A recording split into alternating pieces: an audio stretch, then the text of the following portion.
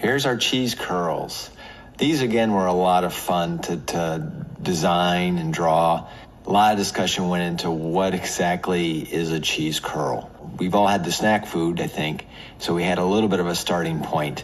But uh, you know, once you decide that these are going to chase people and bark and and growl and all that, uh, suddenly that was like, how are we going to give them personality and uh, and incorporate them into the the world of Veggie Tales? And uh, again, Rob brought in these designs, and we, we loved them right away. And with just some minor tweaking and adjustments, we started to get you know exactly what we wanted to build and model uh, for the for the picture.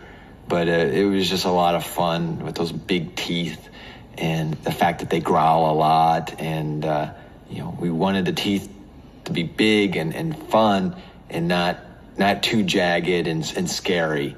We want these guys to be probably more fun than scary. We probably did the fewest drawings for this one of any of the characters. Rob just got it right away.